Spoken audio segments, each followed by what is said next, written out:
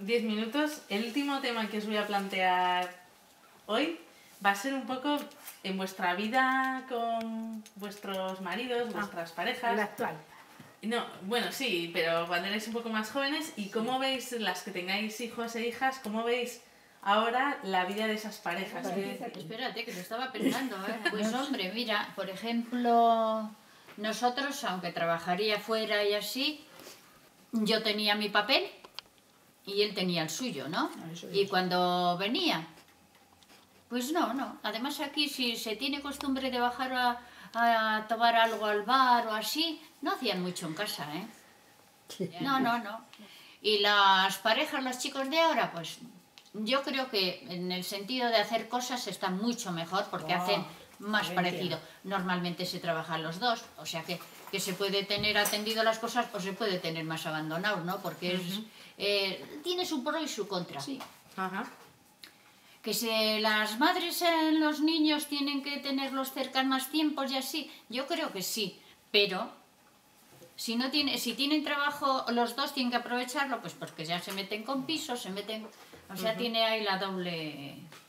Yo ahí no lo sé, en unas cosas sí estoy de acuerdo, en otras no. Yo estoy de acuerdo en cómo viven, ¿eh? O sea que ahora es un ajetreo enorme en el que se traen. Eso es la pura verdad. Sí, sí, a mí también.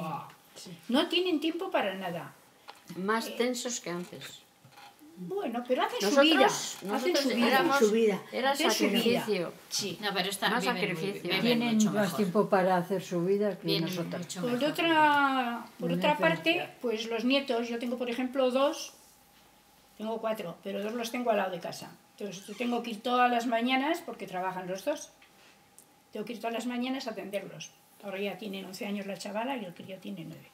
Pero a mí eso me causa satisfacción. Fíjate, no me causa pesar. No, no me cuesta. O sea, yo me tengo que levantar a las 7 o 7 y algo, pues para preparar los zumos antes para nosotros y luego para ellos. Pero no me causa pesar. Fíjate. Yo creo a que gusto. cuando me falte, muchas veces les amenazo, cuando los tengo que despertar y no se mueven. Ya verás cuando mamá se ponga mayor y no pueda venir, lo que va a pasar. y Germán me suele decir, ahora ella suele decir, tú no te vas a morir hasta que tenga yo niños.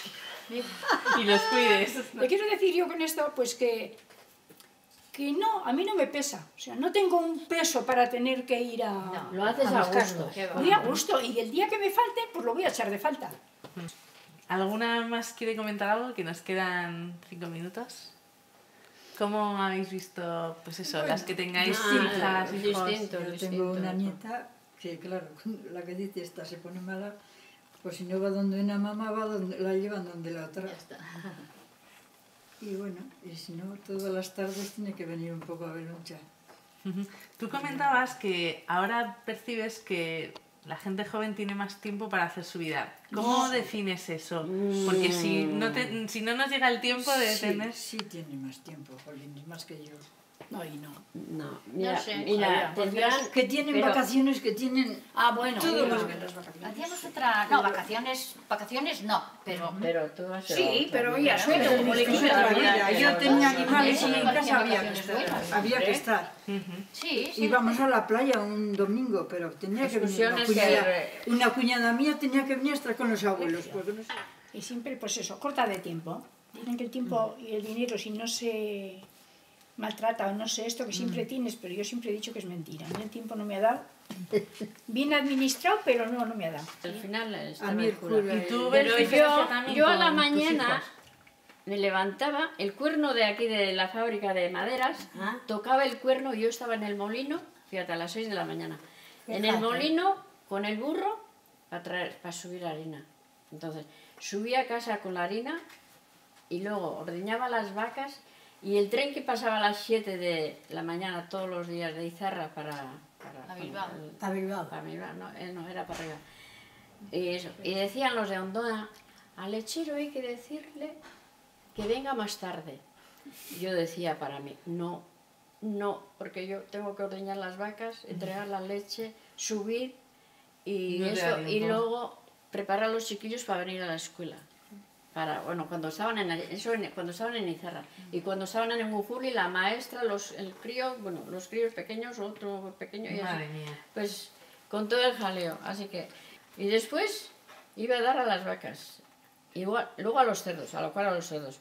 Y al final a la cuadra de las ovejas. Cuando ya los hijos mandaban a guitarra, ya iba a las, ande las ovejas y eso. Ya tranquilidad. Y el hijo, ovejas. el marido en la fábrica.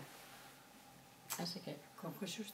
Y menos mal, menos mal que trabajaba relevo también. O sea, trabajaba de la tarde, mañana y noche. Pero a él le gustaba de mañana. Sí. Benita, y tú contándonos esto, cuando tus hijas o tus hijos dicen, ay, mamá, que no tengo tiempo,